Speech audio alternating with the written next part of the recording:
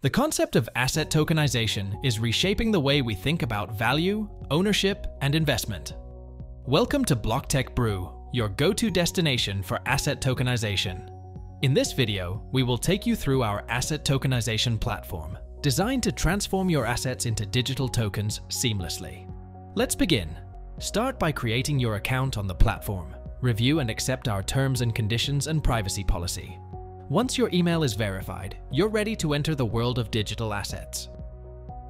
Upon logging in, you'll see the dashboard where you can access all key features. The first step in tokenizing your assets is to click on the Create Digital Asset button. Give the name and abbreviation for your digital asset and upload its logo. Next, connect your wallet by selecting a wallet provider from our supported list. Successful connection will be indicated in green. The next step is of legal documentation uploading. Ensure compliance by uploading the necessary tokenization documents. You can then decide on a maximum supply for your digital asset and whether you wish to distribute it to existing shareholders. Review all entered information for accuracy.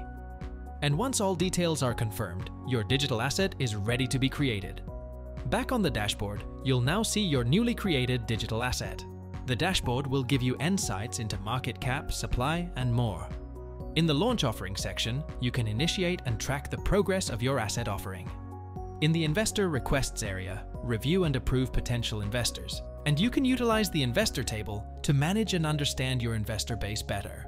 Further, you can customize your token suite to align with your brand. Upload images, set up your brand colors, and provide project details to create a tailored experience for your investors.